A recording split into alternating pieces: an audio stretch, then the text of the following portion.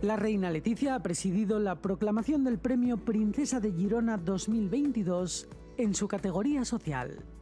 Un galardón orientado a distinguir a jóvenes que con sus iniciativas logran impulsar importantes proyectos sociales. En esta ocasión, dicho premio ha recaído sobre la psicóloga Claudia María Teclén García, y la reina no ocultó su entusiasmo al conocer a esta joven que ha generado un gran impacto a la hora de impulsar la igualdad de oportunidades y la inclusión de personas que conviven con espasticidad muscular.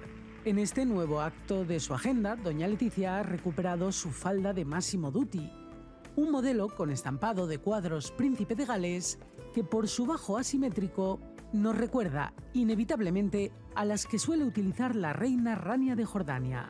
Esta es una de las prendas favoritas de la reina Leticia y ya se la hemos visto lucir en multitud de ocasiones. La última vez fue durante la reunión anual de directores de centros del Instituto Cervantes. Una cita en la que combinó su falda con una blusa negra, satinada y con escote en V de la firma Sandro. Ahora la reina de España recurre al blanco y prescinde del escote. En esta ocasión, de hecho, el detalle a destacar de su blusa es su lazada al cuello, un tipo de prenda que vuelve a estar en sintonía con la de otras damas de la realeza. Nuevamente, este tipo de lazos nos remiten a la reina Rania, pero también a la inolvidable princesa Diana de Gales. Un auténtico icono de estilo dentro de la realeza que décadas después de su fallecimiento continúa marcando tendencia.